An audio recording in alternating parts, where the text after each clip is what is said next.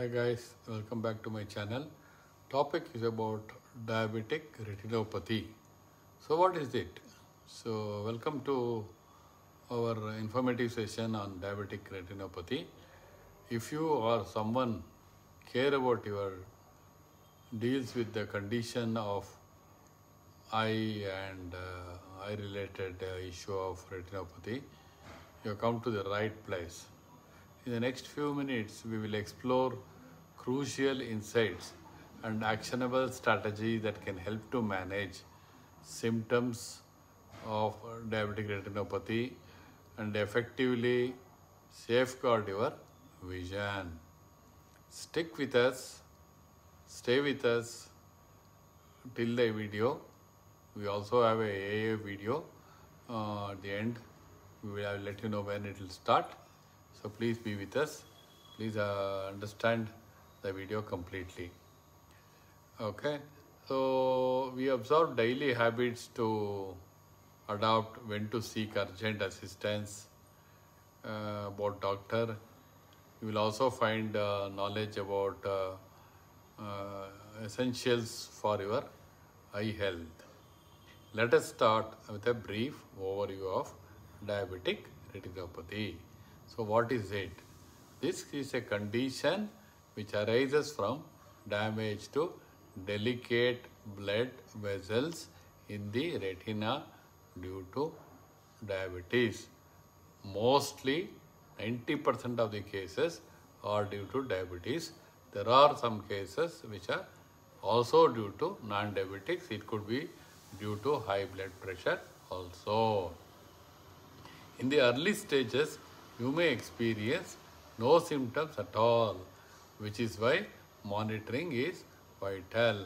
As it progresses, signs such as blurred vision, floaters, dark spots, and sudden vision losses may occur.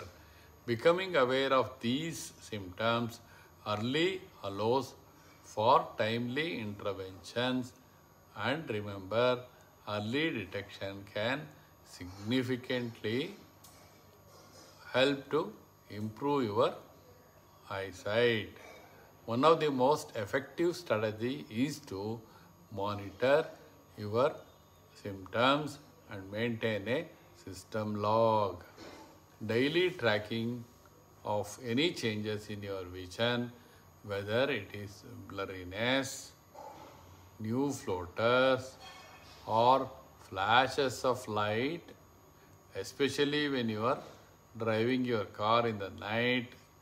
Please keep a note and it is very crucial to consider using a simple checklist or digital notes on your phone to record your observations and ensure you bring this log to every eye appointment. Make sure if you are diabetic or with high blood pressure to go to doctor every 6 months to 1 year for eye specialist for an appointment to get this test done. This small step can help to lead a more informed discussion about your eye health with your healthcare provider. Please note no doctor will diagnose you retinopathy without actually being there. Controlling systematic risk factor is another vital part of managing diabetic retinopathy. Consistent blood sugar control plays a critical role. At the same time, it is also important to control your blood pressure. Work closely with your diabetics care team to establish and maintain appropriate AC1, HbA1c targets. Additionally, keep an eye on other factors like blood pressure and cholesterol levels. High levels of these can further exacerbate retinal damage, making medications and lifestyle adjustments and equally important as a glucose management. It's very simple that whenever every year, like the way if you are wearing a specs or even if you are going to a your physician, ask him whether is it a time to go for retina test. They will advise you and you can visit a doctor for retinal screening. And it is very essential as well. Adults with this diabetes, uh, with the diabetes should undergo annual or more frequent eye exams based on disease progression. Early treatment in response to screening results can prevent significant vision losses. I myself is a diabetic for last 30 years and I wear specs and I keep going to doctor and as a part of normal eye test, doctor also advised me to go with retina test and a retina test will be done only if it is necessary by a special doctors on eye. So please uh, do not get worried. Every time they will not charge you too much money for retinal test unless it is needed. They will not do uh, detailed test for retinopathy. Uh, option of empowering whether it is a anti-VEGF injections to mitigate swelling or laser therapy for sealing or leaking the blood vessels is conducted if you are diagnosed with a uh, diabetic retinopathy. Each method has its own benefits and uh, will find out what is the best method for you.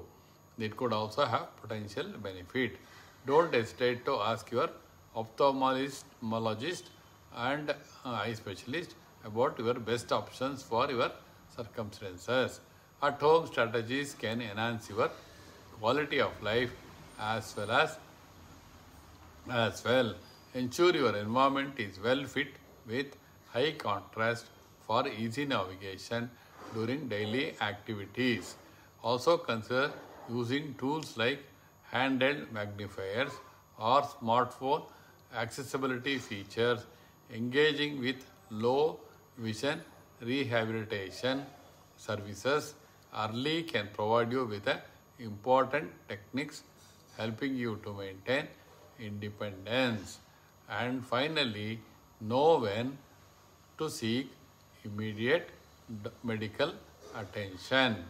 So guys along with this i have attached a AI video which will give you clear de details about what are the uh, options and uh, uh, how you can take treatment for diabetic retinopathy.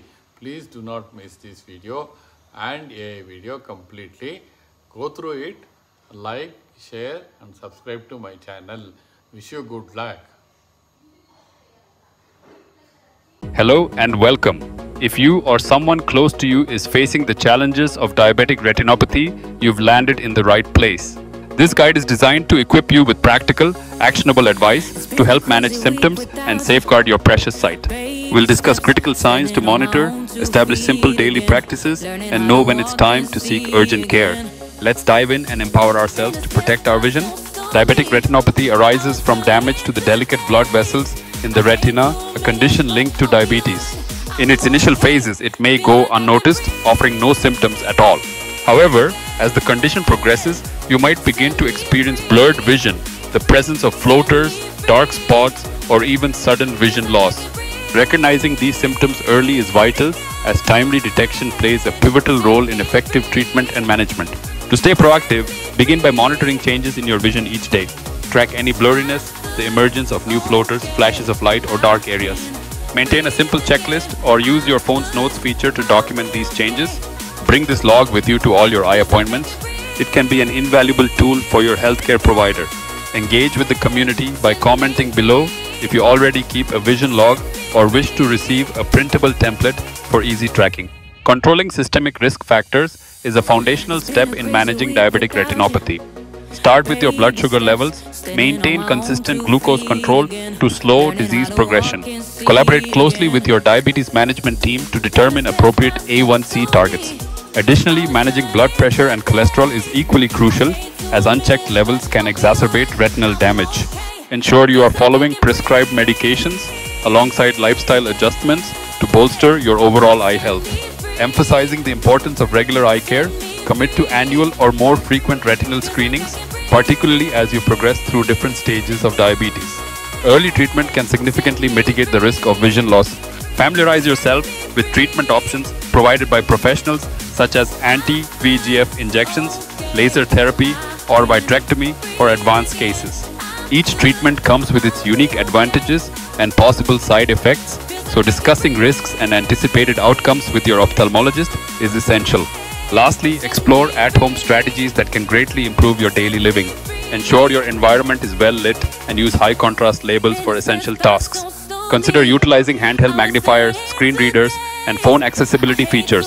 Engaging with low vision rehabilitation services can teach you effective strategies and introduce devices that will promote independence. In cases of sudden vision loss or an alarming increase in floaters, seek immediate medical assistance as these may set up